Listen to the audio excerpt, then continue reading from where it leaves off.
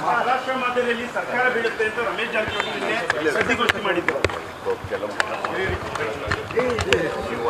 ಕೂಕಾರ ಹಾಕ್ತೀವಿ ಅಲ್ಲ ಯಾಕೋ ಪದೇ ಪದೇ ಈ ರೀತಿ ಹೇಳಿಕೆಗಳನ್ನು ಕೊಡ್ತಿರ್ತಾರೆ? ನಮ್ಮ ಸರ್ಕಾರ ಸ್ಥಿರತೆಯಿಂದ ಕೂಡಿದೆ. ಯಾರು ಬಿಜೆಪಿಯವರು ಹೇಳಿದ ತಕ್ಷಣ ಸರ್ಕಾರ ಬಿದ್ದೋಗಕ್ಕೆ ಸಾಧ್ಯ ಇಲ್ಲ.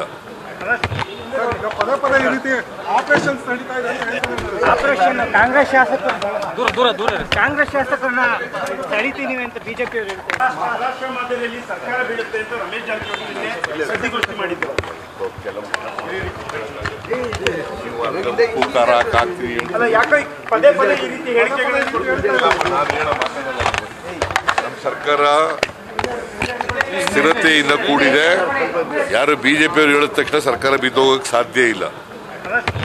ಈಗ ಪದೇ ಪದೇ ಈ ರೀತಿ ಆಪರೇಷನ್ಸ್ ನಡೀತಾ ಇದೆ ಅಂತ ಹೇಳ್ತಾರೆ ಆಪರೇಷನ್ ಕಾಂಗ್ರೆಸ್ ಶಾಸಕರು ದೂರ ದೂರ ದೂರ ಇರಿ. ಕಾಂಗ್ರೆಸ್ ಶಾಸಕರನ್ನ ತಡಿತೀನಿ ಅಂತ ಬಿಜೆಪಿ ಅವರು ಹೇಳ್ತಾರೆ. ಮಹಾರಾಷ್ಟ್ರ ಮಾದರಿಯಲ್ಲಿ ಸರ್ಕಾರ ಬೀಳುತ್ತೆ ಅಂತ ರಮೇಶ್ ಜಾರಕಿಹೊಳಿ ಸುದ್ದಿಗೋಷ್ಠಿ ಮಾಡಿದ್ರು.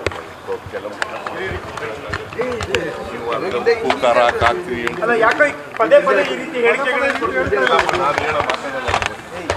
ಸರ್ಕಾರ ಸ್ಥಿರತೆಯಿಂದ ಕೂಡಿದೆ. ಯಾರು ಬಿಜೆಪಿಯವರು ಹೇಳಿದ ತಕ್ಷಣ ಸರ್ಕಾರ ಬಿದ್ದೋಗಕ್ಕೆ ಸಾಧ್ಯ ಇಲ್ಲ.